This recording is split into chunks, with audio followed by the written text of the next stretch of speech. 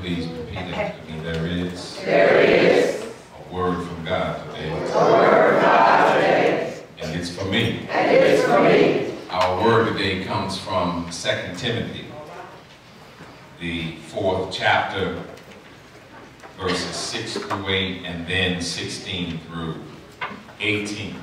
That's 2 Timothy. That's towards the back of the Bible, after 1 Timothy and before Titus.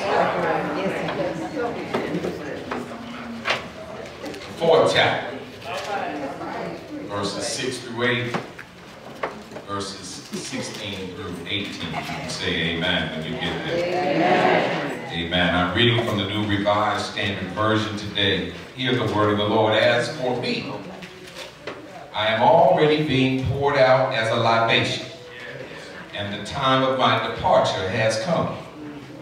I have fought the good fight. Yeah, yeah. I have finished the race.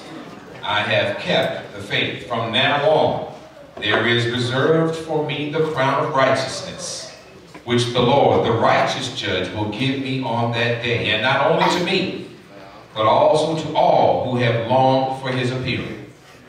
Going down to verse 16, at my first defense, no one, no one, no one came to my support, but all deserted me. May it not be counted against them. But the Lord stood by me and gave me strength so that through me the message might be fully proclaimed and all the Gentiles might hear it. So I was rescued from the lion's mouth. The Lord will rescue me from every evil attack and save me for his heavenly kingdom. To him be the glory forever and ever. Amen. This is the word of God for the people of God. Thanks be to God. Amen. Amen. Today is the day that I preach the sermon I have dreamed of and dreaded for quite some time. I, I, I literally dream and dread preaching on days of endings and new beginnings. I'm talking about endings and new beginnings, like a retirement, or a homegoing, or a wedding, brother and sister Washington, or even a relocation, Doctor and soon to be Dr. Pope. However, on this special day, we, we also pause to recognize and appreciate the men who are stepping up as fathers and father figures. I'm led to address the concept of success. Success. The definition of success. What it is and what it is not. Now, now, not too long ago, I, I was watching the television and, and this news bit came on. Uh, it was a gentleman who had just left family court.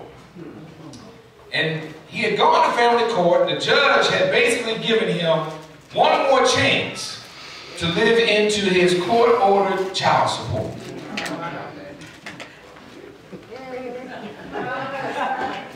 He was happy. He was talking about how he wants to do something positive for his children. He was talking about how he wanted to leave something good for his children. This news reporter was saying, you know, so how are you going to do that? Oh, I'm going to be a better father. Now, that all sounded good until the news reporter said, but you have 22 children by 14 different women. Let me say this as plainly as I can. Making a baby does not make you a dad.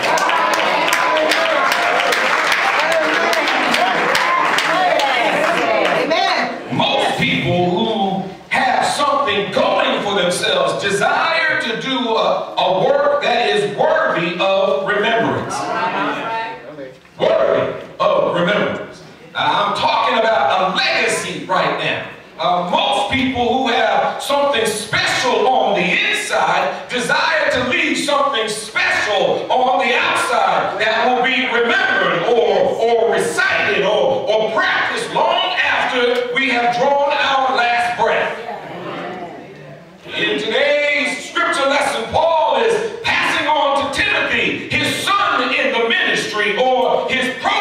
something uh, special that he hopes will be remembered or recited or practiced long after he has drawn his last breath. And in this respect, I'm no different from Paul. However, I'll come back to that in, in, a, in a moment. You know, uh, many theologians consider 2 Timothy to be Paul's last will and testament.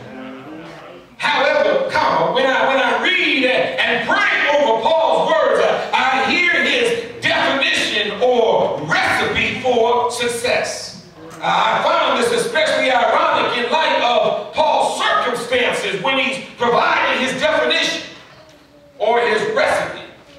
You see, Paul is languishing in a Roman jail, waiting emperor to determine whether he's going to live or, or die. And within this letter, we hear words that many of us have memorized, but I would, I would say that few of us really understand. All right. Paul's words were written in a manner that, that the reader or hearer of that day would readily, readily acknowledge, and, and in that vein, I'm going to try to do the same. So allow me to interject a little Gilmore ease. As for me, I am already being poured out as a libation, and the time of my departure has come. When I was growing up, in the vernacular of that day, we might have said, this is for the homies that are not with us anymore. Am I the only one? Uh-huh, don't tell on yourself. to Paul's way of thinking, success or, or winning often meant losing. In other words, you got to be ready to give it up sometimes. Success, success begins with sacrifice. Success begins with letting go. Success begins with the world labeling us as a failure. Success begins with believers staring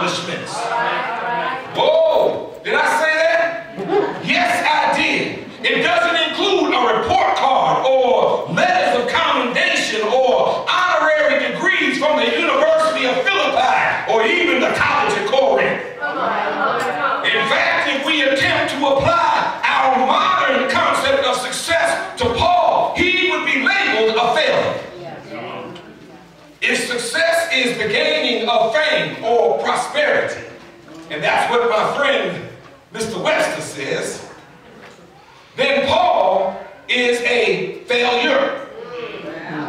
Paul has been beaten by the crowds and the authorities. Paul has been cursed to his face and behind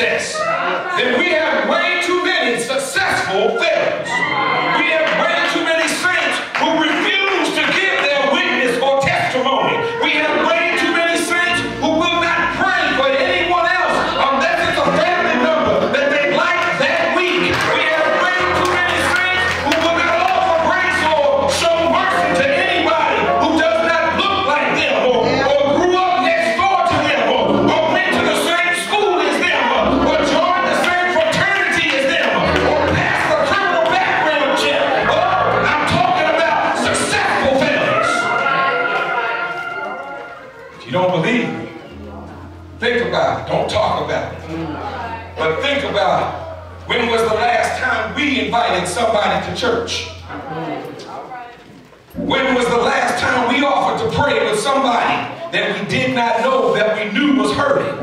When was the last time that we offered to feed somebody who was hungry? When was the last time we visited someone who was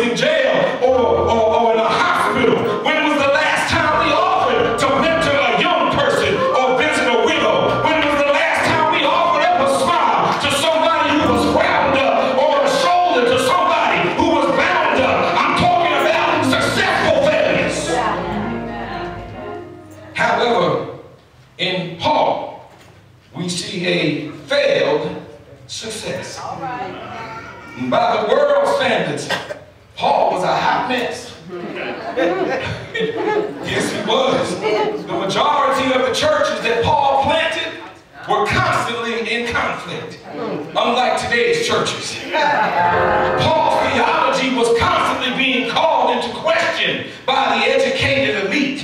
Paul was run out of more than one town for preaching a gospel that upset the status quo. Uh, so what was it about Paul that made such a failure, such a success. I have fought the good fight. I have finished the race. I have kept the faith. I have fought the good fight. I'm going to try not to shout right now. Now I have won the fight, but I fought the good fight. I finished the race. I said I finished the race.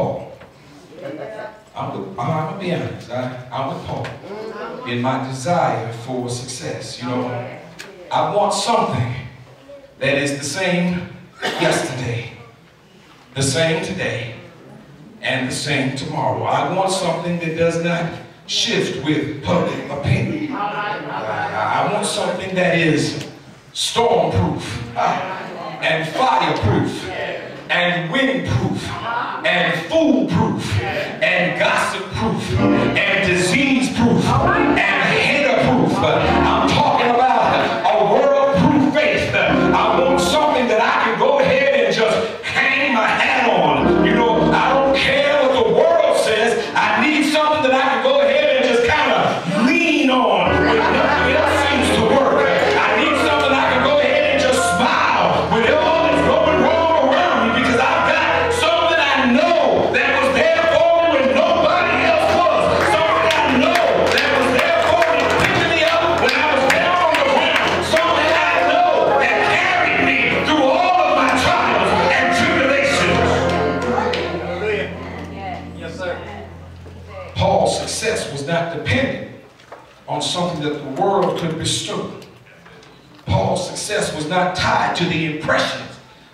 perceptions or the honors or the riches of this world. Paul was not wrapped up in getting paid now and being bankrupt later. Paul was not tied to climbing the top now and falling off later. Paul faithfully executed the mission that God gave him. Paul steadfastly completed the ministry that he had received from Jesus Christ. Paul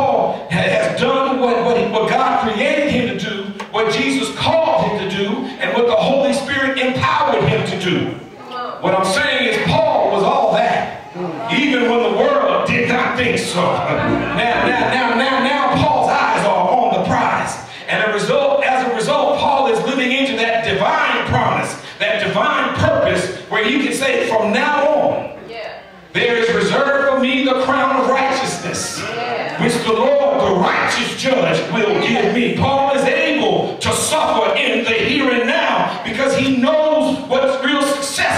tomorrow. Paul is able to bear the pain, the rejection, the depression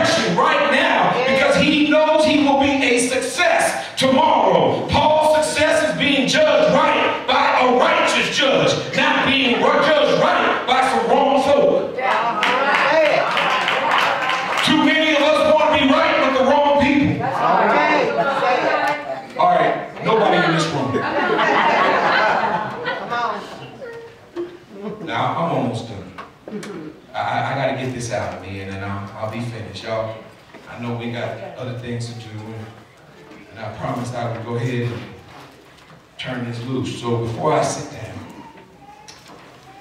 there's one more aspect of success that we need to bring out. Leading up to the end of today's passage, we hear about people who have abandoned Paul when he needed them most. Now, I know I'm preaching to the choir. We hear about folks that Paul sent away and others who just went away.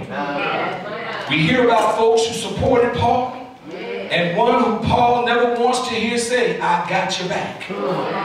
Make no mistake, church, trying to live right and live holy is no walk in the park. Trying to live an upright and sanctified life is going to cause folks to turn on you, man. Talk about you like